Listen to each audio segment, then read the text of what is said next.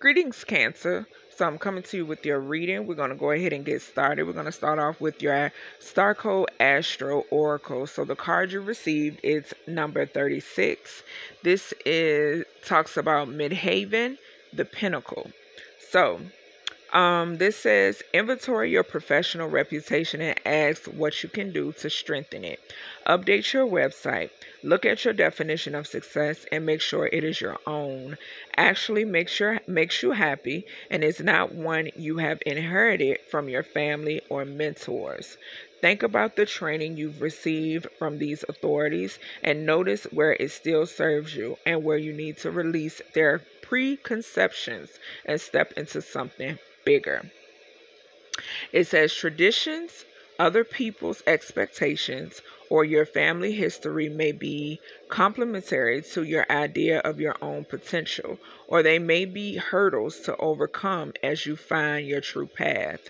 It says, underneath all worldly sense of ambition, it is a soul's longing to live out its potential. Listen to the call. So next we have your Rose Oracle. You received one card and this says open. So this says, it says say yes, expand through the extremes, trust life. Following that, we have your love oracle card. So you receive two cards, and the first card says addiction. This talks about codependent, obsession, possession, controlling, has a block, restraint. Next, we have date, D A T E. This talks about meeting someone new, dating, get back out there, plan or set a date. Following that, we have your fruit oracle card, and you receive the card that talks about fruits of abundance. This is sacred geometry, actually. And it says, fruits in abundance symbolizes prosperity. Plenty of fruits represent wealth, fertility, and success. Okay. If I'm not mistaken, this is the fruit of life, um, sacred geometry. So, a little bit more about the fruit of life. It says the middle circle is the sun, it stands as the sustainer of life.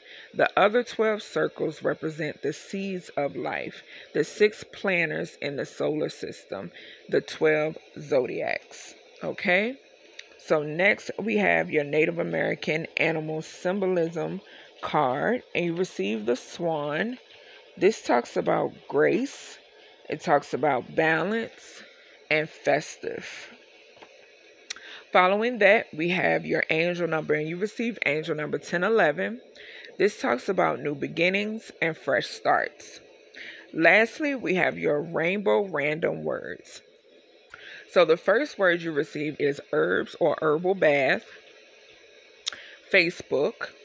You receive the rune that talks about intuition, emotions, flow, and renewal. You receive Taurus. So you could have Taurus somewhere in your natal chart, or you could be a cross watcher that's a Taurus.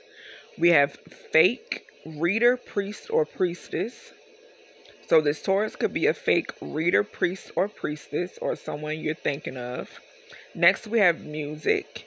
Then we have surrender. Then you receive the rune that represents cycles, completion, and changes.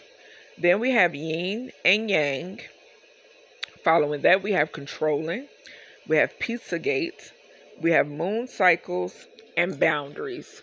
So that is everything I have for you, Cancer. I hope you enjoyed this reading. If you did, definitely thumbs up this video. And I will talk to you in your next reading.